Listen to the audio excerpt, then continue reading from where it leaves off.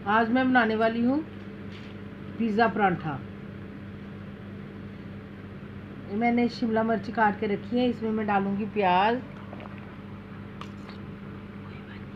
टमाटर,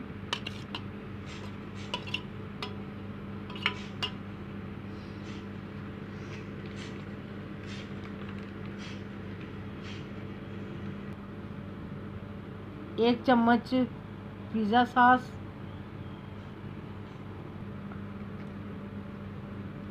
थोड़ी सी मिर्ची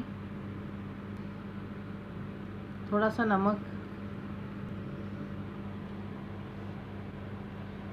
और डेढ़ सारा चैडर चीज़।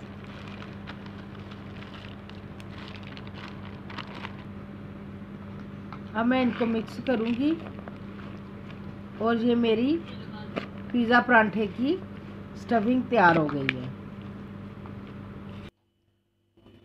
अब मैंने पहले इसका डो बना के रखा हुआ था, अब मैंने इसमें स्टफ़ कर दिया है। अब मैं हल, हल्के हाथों से इसको बनाऊँगी। अब इसको मैं पकाऊँगी बटर में। अब मैं इसमें बटर डालूँगी।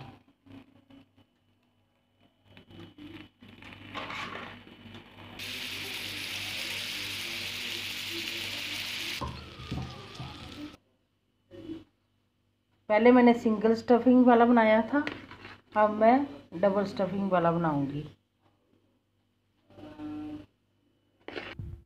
अब ये तैयार हो गया है।